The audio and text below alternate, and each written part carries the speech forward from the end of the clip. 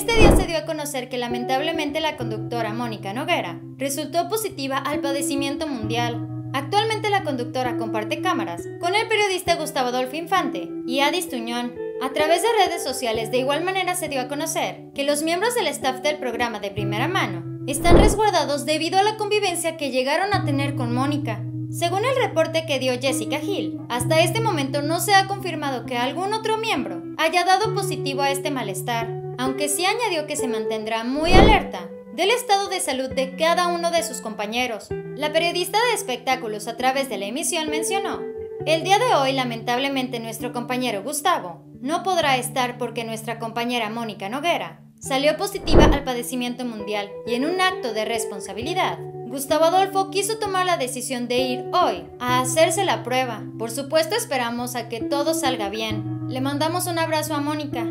Gil también agregó que Gustavo Adolfo no estaría en las oficinas debido a que de manera protocolaria él sí o sí tenía que hacerse esta prueba. De hecho, minutos antes de salir al aire, le avisaron que Gustavo Adolfo se había ido a realizar la prueba, por lo que no estaría en el programa. No obstante, como el programa es en vivo, al poco tiempo Gustavo Adolfo Infante llegó con todo y cubrebocas, Gustavo Adolfo habló al micrófono, asegurando que en todo momento respetó la sana distancia con Noguera. El periodista agregó que estaban esperando sus resultados, diciendo con sus propias palabras, yo espero que todo salga bien, pero uno nunca sabe. No hay que bajar la guardia. Yo estoy perfectamente bien, me siento bien. Ya me hice el examen y sigo esperando los resultados. Las posibilidades de que este que les habla tenga el bicho son muy bajas, muy bajas. Yo creo eso. Vamos a esperar a ver qué dicen los doctores.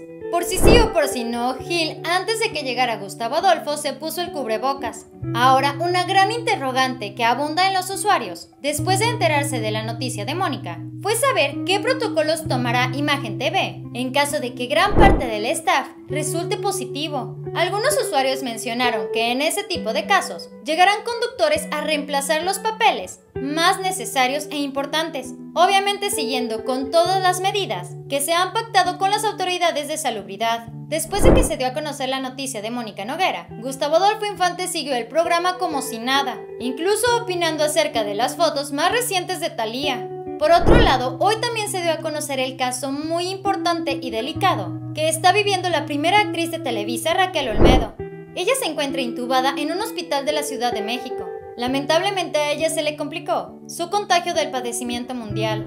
La encargada de dar a conocer esta noticia fue su gran amiga, la cantante Lolita de la Colina. Esto fue Famosos de Cerca. Dale like a este video y no te vayas sin antes suscribirte a nuestro canal de YouTube dando clic aquí abajo, al igual que seguirnos en nuestra página en Facebook. Por favor, cuídate mucho, esto todavía no se acaba. Lávate las manos frecuentemente, utiliza el cubrebocas de manera correcta, mantén la sana distancia y si no es necesario, no salgas de casa. Espero que tengas un excelente día. Nos vemos muy pronto.